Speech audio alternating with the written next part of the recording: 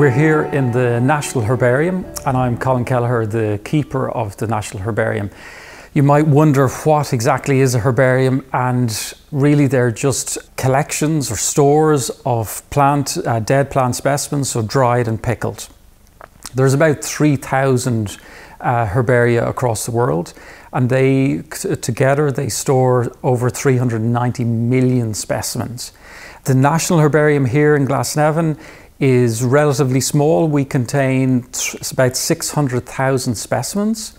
Uh, although it's small, internationally we're the largest and most comprehensive uh, herbarium, hence we're called the National Herbarium.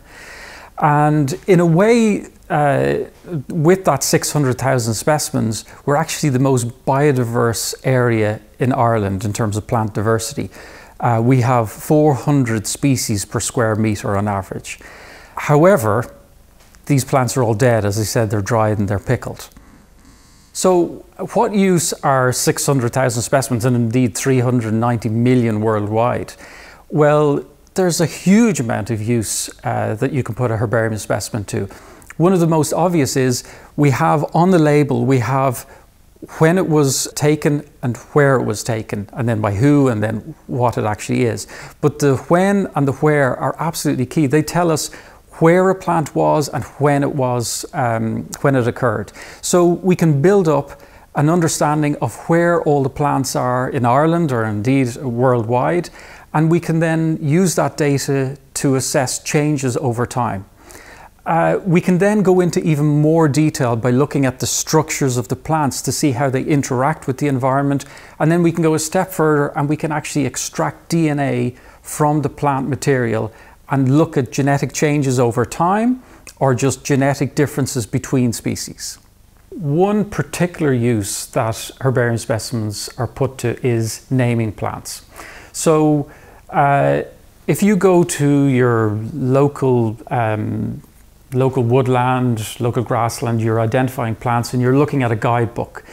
The names in those guidebooks will link back to what's called a type specimen. It's a little sort of complicated, but in essence, uh, it's just a fancy specimen and they, they come in these pink or these red folders. And the red folders are deliberate to make them stand out. And really what they are, are the first specimen that was named.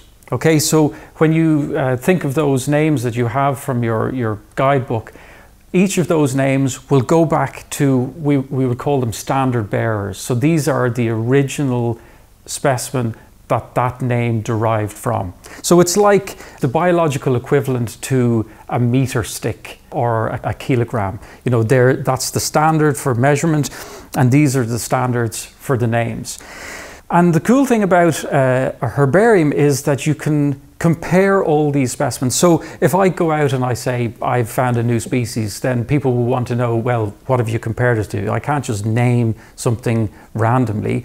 I have to compare it to closely related species and even closely related genera. And so that's where a herbarium really comes in. You can then, as you see here, we have all these specimens laid out. These are all from the genus uh, Ranunculus, which, which are our buttercups. And so we have the terrestrial buttercups over here and the aquatic buttercups over here. And we can easily then take these specimens and compare them side by side. It's much more difficult to do that in the field when, you're, when everything is seasonal and you're dependent on not only weather conditions but season uh, and things in flower and fruit. But when they're captured in a herbarium specimen, that is a physical snapshot of a particular time, a particular place and we can then use that to assess variation over time and then uh, improve classification of plants.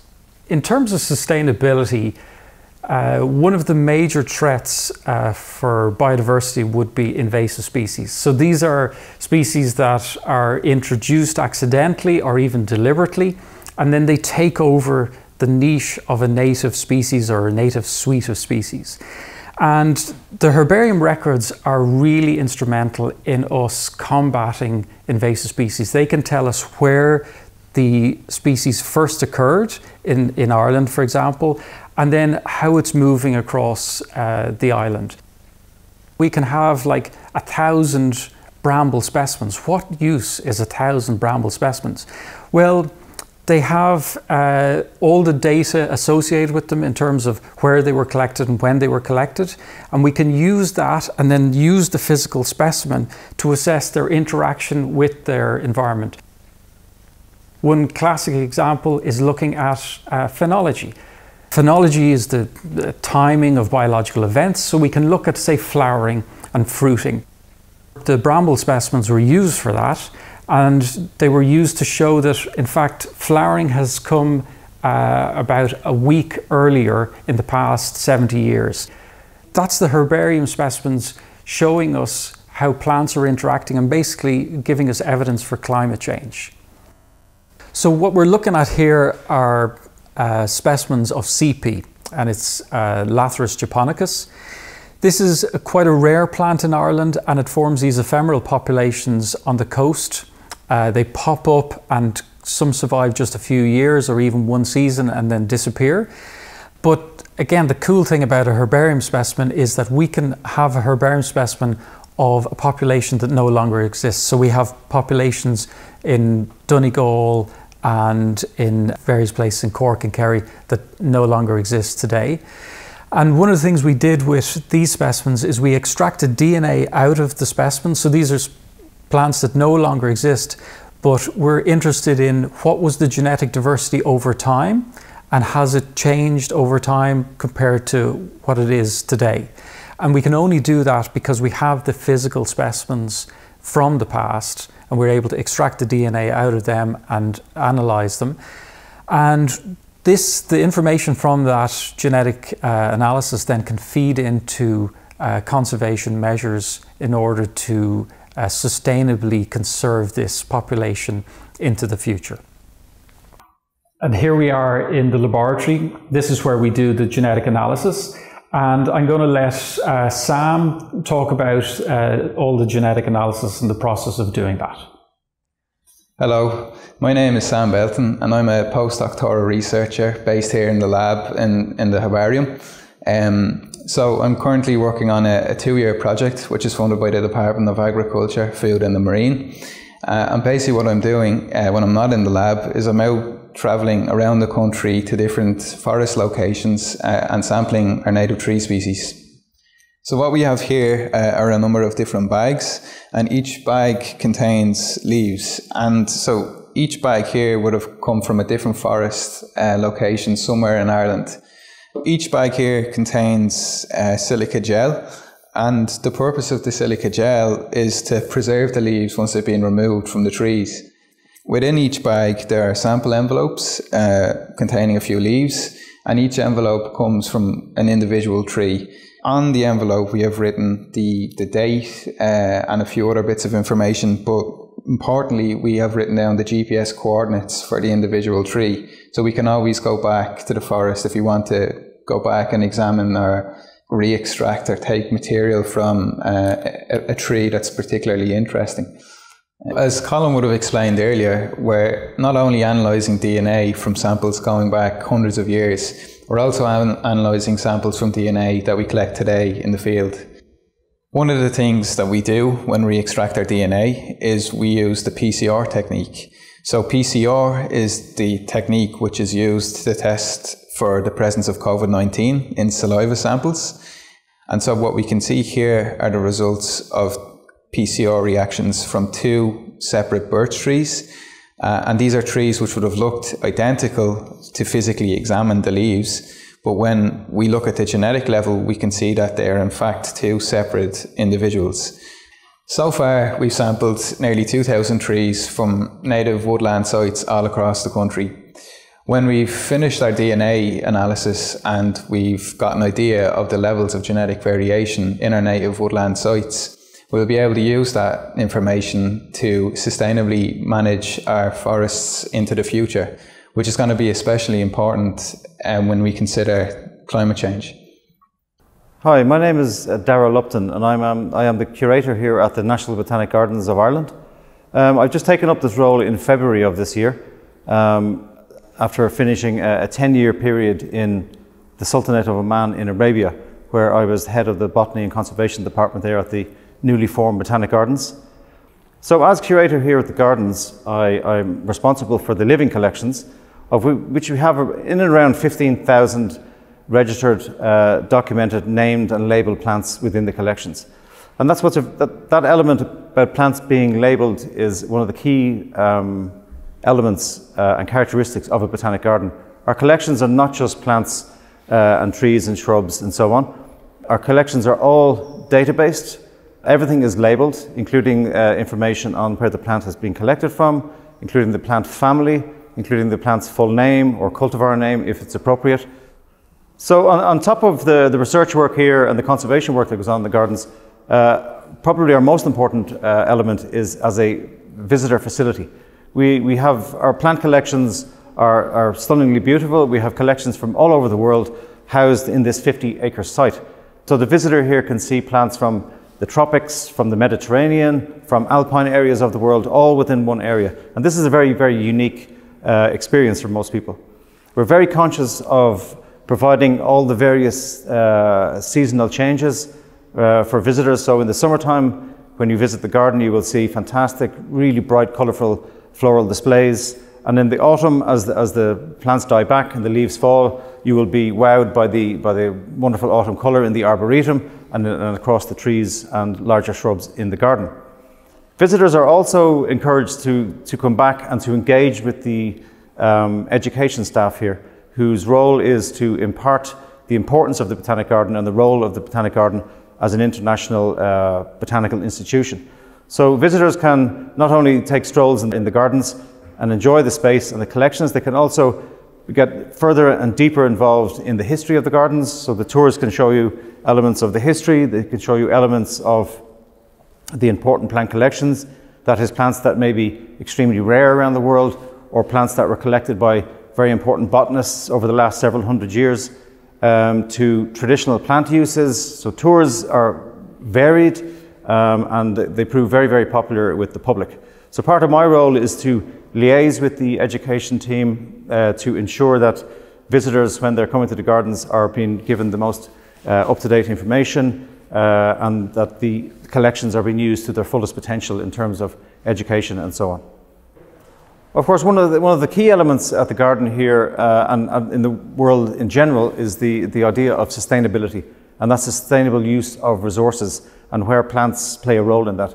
Uh, many of the products we use uh, in our daily lives are plant derived, so it's very, very important that we consider plants uh, as being uh, an integral part of a sustainable future. Uh, at the gardens, for example, in terms of planting, we're, we're conscious of climate change. Climate change predictions would, would indicate that we're going to get uh, drier summers, maybe increased rainfall or storminess, stormy periods. So we, we have to start considering our collections and how appropriate our collections are for the future. We certainly don't want to be growing uh, trees that require huge amounts of water during the summer. We can see from the last few years we've had very, very dry periods. We want to move away from trees that are water hungry so we, we can reduce our water uh, output um, so with the selections of our trees and plantings going forward, we will be considering very carefully where they come from. So selecting trees, for example, from drier parts of the world which are more evolved uh, for dealing with drier drought periods is something we need to consider. Also the use of energy in our buildings. Um, we are very conscious of, of the collections. Many of our collections are tropical, are subtropical, and they require heat during the winter and sometimes even during the summer. So we're, we're conscious about adapting our collections um, going forward that they don't require so much heat during the colder winter months. This is something that we see as, is slightly unsustainable. Um, so we're very conscious of, of, of, doing that.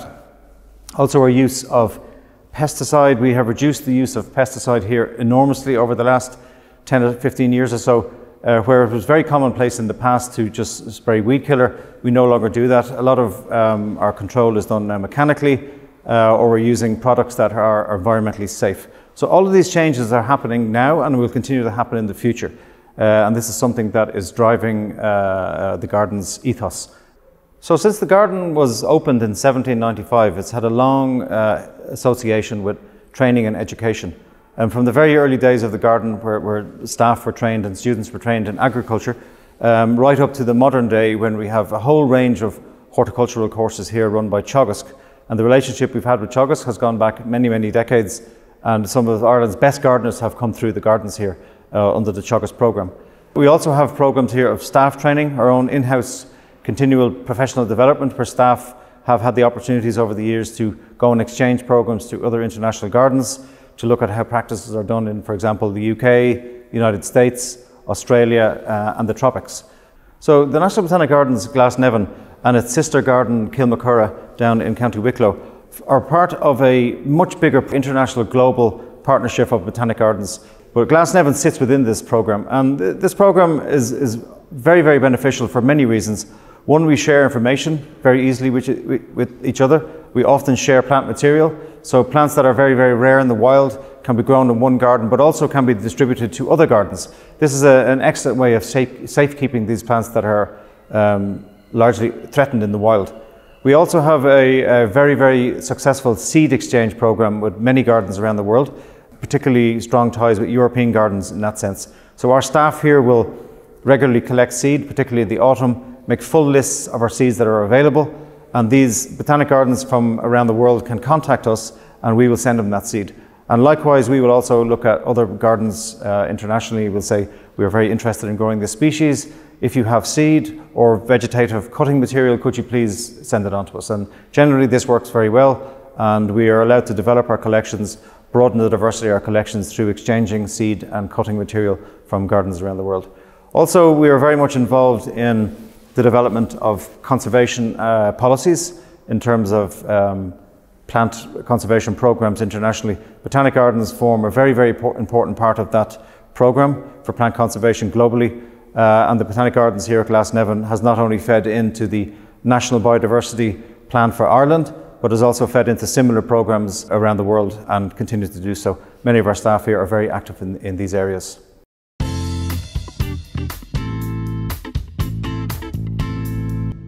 So I mentioned uh, earlier about uh, rare and threatened plants, enigmatic plants. Well, I, I, don't think there's anything any more enigmatic or emblematic plant than this one I'm standing beside here. This is a, a cycad, Encephalartos woodii, and this plant was first discovered in the late in the late 1890s in KwaZulu-Natal in Durban in South Africa.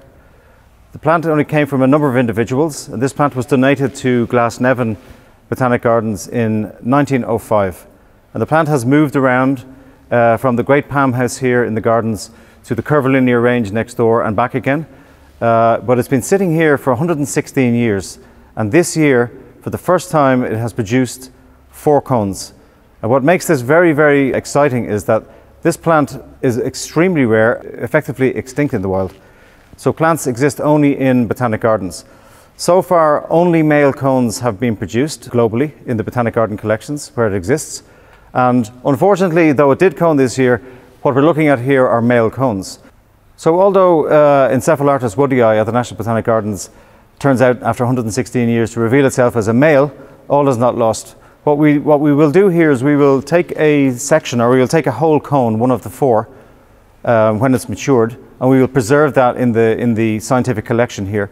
One for our own records and second for maybe public engagement and so on. The other thing we can do is we can collect pollen once pollen is produced from the plant, and we can store that pollen and freeze it and keep it uh, active and viable for a very, very long time. So if a female plant ever did turn up uh, in the wild or in another botanic garden, we would have viable pollen in which we could donate and try to cross-fertilize and produce seed. This would be really a, a, an incredible uh, feat from botanic gardens. And, and this represents really uh, what botanic gardens do. We are at the essence of conservation. We conserve very, very rare species, Encephalartos woodii being possibly the rarest of them all.